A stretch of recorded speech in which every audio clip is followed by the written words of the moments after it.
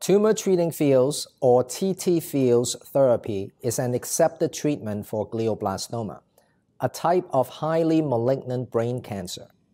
It is approved by the United States Food and Drug Administration because of its demonstrated efficacy in phase 3 clinical trials. Our protocol is significant because we demonstrate to you in a step-by-step fashion the procedures required for the proper application of this therapy on a patient with glioblastoma. It is important to note that our patient has been using this device for over four years, and she has not encountered significant adverse events from this therapy. The main advantage of our technique demonstrated in this video is that we account for the surgical scars on the scalp and the indentations on the calvarium while we are placing the transducer arrays on a patient.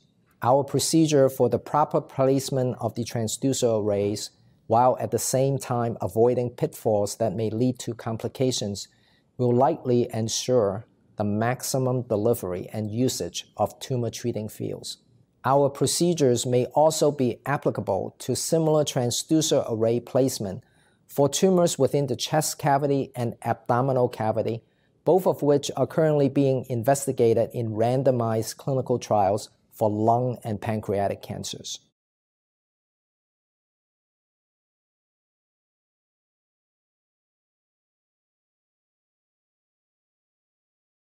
Begin by acquiring magnetic resonance images, or MRIs, of the patient's brain that include the margins of the scalp for treatment planning.